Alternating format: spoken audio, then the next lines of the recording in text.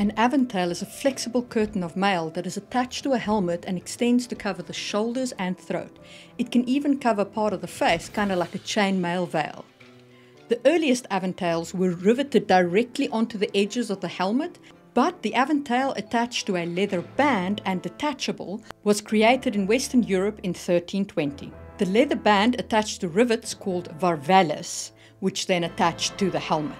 The most common helmet that the aventail attached to was the bascinet, and eventually it was replaced by the great bascinet, which covered the whole face in plate armor.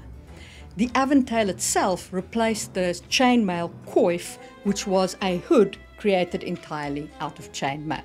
If you're interested in weapons and world building, check out my video on Blades of the Turkana.